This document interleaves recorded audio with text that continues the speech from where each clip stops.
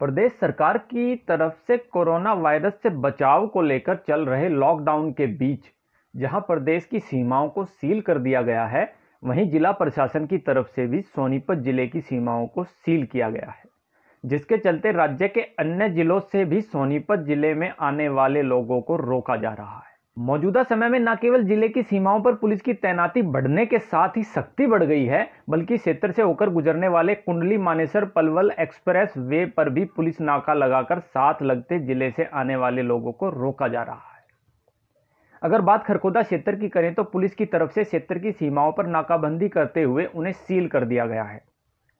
सैदपुर चौकी सहित खरकोदा थाना क्षेत्र की हर चौकी पर पुलिस की तरफ़ से नाका लगाकर न केवल बाहर से आने वाले लोगों को व वाहन चालकों को रोका जा रहा है, बल्कि सरकारी गाड़ियों व सरकार की तरफ़ से अधिकृत वाहनों को ही ज़िले की सीमा में प्रवेश करने दिया जा रहा है।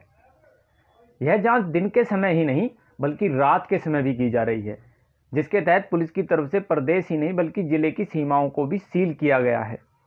उधर दिल्ली पुलिस की तरफ़ से भी ओचंदी बॉर्डर पर चौकसी बढ़ाई गई है, जिसमें हरियाणा की तरफ़ से दिल्ली जाने वाले वाहनों की जाँच करते हुए सिर्फ़ उन्हीं लोगों को दिल्ली में प्रवेश करने दिया जा रहा है जो दिल्ली में नौकरी करते हैं और मौजूदा समय में उनकी ड्यूटी लगाई गई है।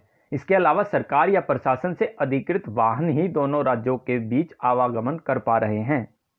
एसपी साहब के आदेश से बिल्कुल सभी रोडों को ब्लॉक कर दिया गया है। किसी भी व्हीकल को जाने नहीं दिया जा रहा। ओनली जो गवर्नमेंट की परमिशन है डीसी साहब की परमिशन है, उन्हीं व्हीकलों को चेक करके जाने दिया जा रहा है।